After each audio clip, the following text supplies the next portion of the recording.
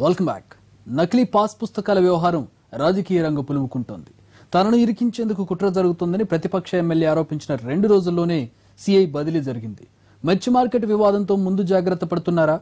పాస్బుక్ల మాటున గూడు పుఠానీ జరుగుతోందా?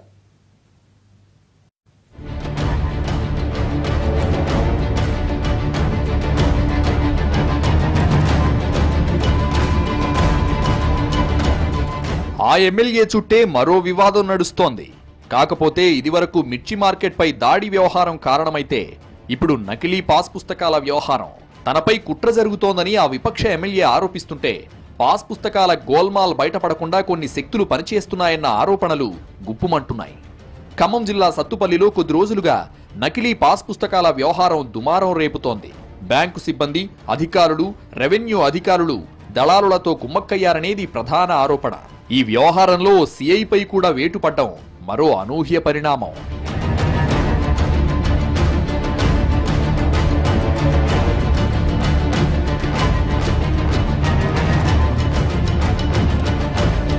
విచారణ జరుపుతున్న అధికారిపైనే వేటుపడ్డంతో నకిలీ పుస్తకాల వ్యవహారంలో ఎన్నో అనుమానాలు తెరపైకొస్తున్నాయి. విచారణ అధికారులు బాగా పనిచేస్తున్నారని త్వరలో బాధ్యులపై చర్యలు తీసుకుంటామని పోలీస్ కమిషనర్ ప్రకటించిన రెండు మూడు రోజుల్లోనే సత్తుపల్లి సిఐ రాజేంద్ర ప్రసాద్ మీద వేటుపడింది. సత్తుపల్లి ఇండియన్ ఓవర్సీస్ బ్యాంకులో నకిలీ పాస్ పుస్తకాల కోసం తనిఖీలు చేస్తే దిమ్మ తిరిగే నిజాలు వెలుగుచూశాయట. ఆ ఒక్క బ్యాంకులోనే నాలుగు వందల యాభై మూడు నకిలీ పాస్ పుస్తకాల్ని పెట్టి నాలుగు కోట్ల అరవై లక్షలు స్వాహా చేశారని సమాచారం. యూనియన్ బ్యాంక్ సిండికేట్ బ్యాంకుతో పాటు మరికొన్ని బ్యాంకుల్లో సుమారు ఏడు వందల ఎనభై ఒక్క నకిలీ పాస్ పుస్తకాలతో సుమారు ఏడు కోట్ల దాకా స్వాహా చేసినట్లు విచారణలో తేలింది. దీంతో ఖమ్మం కలెక్టర్ లోకేష్ కుమార్ ఖమ్మం కమిషనర్ తఫ్సీర్ ఇక్బాల్ సత్తుపల్లికి వెళ్ళి విచారణ చేపట్టారు. ఖమ్మం జిల్లా యంత్రాంగమంతా సత్తుపల్లి మీదే దృష్టి పెట్టిందంటే స్కామ్ ఏ స్థాయిలో జరిగిందో అర్థమవుతోంది. విచారణ ప్రక్రియ ఎలా ఉన్నా సత్తుపల్లి సీఐని హఠాత్తుగా ఎందుకు బదిలీ చేశారన్నది ఎవరికీ అంతుపట్టలేదు. విచారణ జరుపుతున్న రెవెన్యూ అధికారి మీద కూడా వేటుపడే అవకాశం ఉందనే ప్రచారం జరుగుతోంది. నెల రోజులుగా సత్తుపల్లి బ్యాంకుల్లో నకిలీ పాస్ పుస్తకాలు పెట్టి రుణాలు తీసుకున్న వారంతా దమ్మపేట మండలానికి చెందినవారు. రైతుల్ని బురిడీ కొట్టించి నకిలీ పాస్ పుస్తకాలు సిద్ధం చేసి బ్యాంక్ మేనేజర్లని బుట్టలో వేసుకుని డబ్బు డ్రా చేసుకున్నారు. అయితే అక్రమాలకు కారకుడైన నిందితుణ్ణి ఏ వన్ నుంచి ఏ టెన్కి మార్చడంలో పోలీసులు కీలకంగా వ్యవహరించారని సమాచారం. ఈ వ్యవహారంలో డబ్బు చేతులు మారిందనే ఆరోపణలతోనే సిఐపై వేటు పడిందంటున్నారు.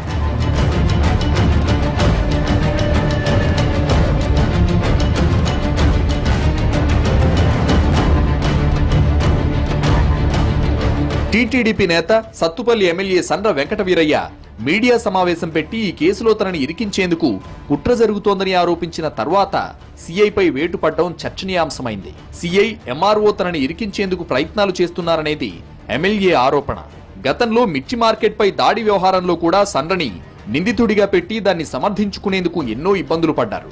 ఇప్పుడు మళ్ళీ ఆయనే తనపై కుట్ర జరుగుతోందనడంతో వ్యవహారం గందరగోళం కాకుండా ఎమ్మెల్యేకి మైలేజ్ రాకుండా చూసేందుకే అధికారులు చర్యలకు ఉపక్రమించారనే చర్చ జరుగుతోంది. మొత్తం మీద సత్తుపల్లి పాస్ పుస్తకాల వ్యవహారం రాజకీయ రంగు పులుముకోగా దీన్ని అవకాశంగా తీసుకుని కొంతమంది బ్లాక్మెయిలింగ్కి దిగుతున్నట్లు సమాచారం.